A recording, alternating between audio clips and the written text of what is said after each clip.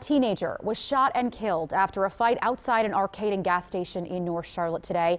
It happened this afternoon along Beatties Ford Road. Our veteran crime reporter Glenn Counts joins us live now. Glenn, this community has dealt with a lot of violence recently. This was the second homicide in North Charlotte in less than 24 hours.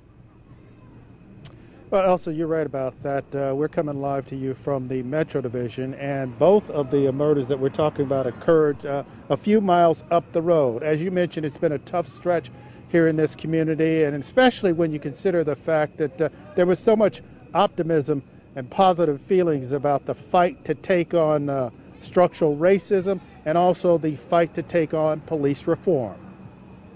Pictures like this have been seen way too often on Beatties Ford Road lately. Shell casings litter the ground where 14-year-old Terrion Jeter was murdered. As a mother, it's it's heartbreaking.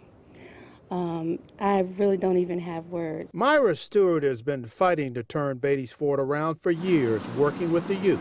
Well, first of all, we're advocates for uh, stopping and ending any type of violence. Over the past two weeks, Beatties Ford has seen its share from a peaceful block party on Sunday night, reduced to a shooting gallery with death and injuries, to last night's murder at Trinity and Beatties Ford, to what happened this afternoon. Put the guns down. You know, why, why, why, we, why we walking around with the guns anyway? Will Adams is with Team True Blue. He too has been working to curb violence in the community.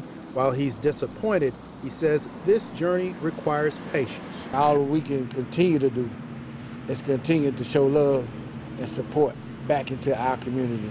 We have to put that hope back into the community. Police, of course, are trying to solve this afternoon's case.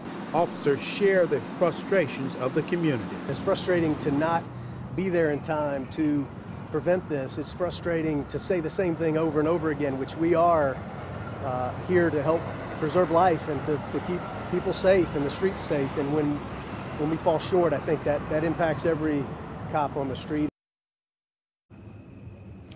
There was also another shooting victim in this case. He was rushed into emergency surgery, and as far as we know, he is doing okay. As far as the suspect is concerned, police have not arrested anyone. And uh, also, we know that they've got a lot of questions and not many answers at this point. Uh, Elsa, back to you.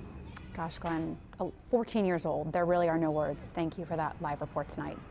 Over 180 shots were fired during a block party last week. People were hit by cars as they tried to get away. Kelly Miller, Jamal Cassell, Christopher Gleaton, and Darion Stevenson died. Police have not made any arrests. The community on Beatties Ford Road has been coming together calling for change. Last night, a local activist pushed the city for accountability in last week's deadly shooting and for increased safety measures.